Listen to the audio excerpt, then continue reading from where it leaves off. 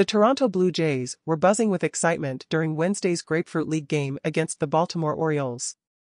The team was flirting with history, just two outs away from what would have been their first spring training no-hitter. The seven pitchers who took the mound combined to keep the Orioles hitless through the first eight innings, with Yusei Kikuchi leading the charge by throwing two hitless innings to start the game. The Blue Jays bullpen continued the impressive performance, with Zach Thompson, Trent Thornton, Julian Fernandez, Matt Peacock, Adrian Hernandez, and Hayden Juenger each contributing an inning. The only base runner the Orioles managed was Ramon Urias, who drew a four-pitch walk from Kikuchi in the second inning.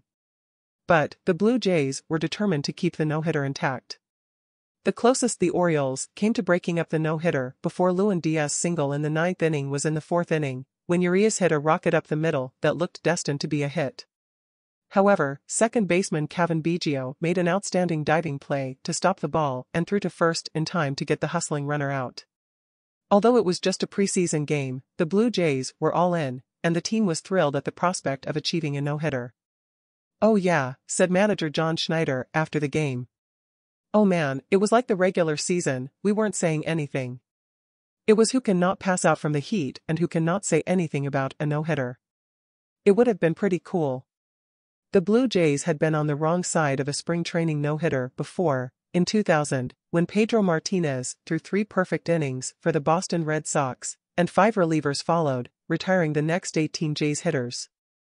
Despite the fact that it was just a preseason game, the Blue Jays were thrilled with the near no-hitter, and the team's pitchers continued to impress throughout the game.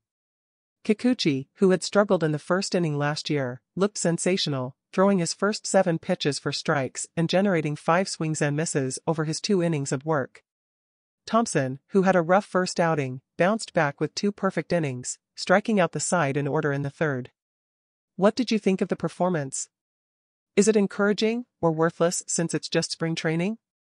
Leave a comment and don't forget to like the video and subscribe to the channel.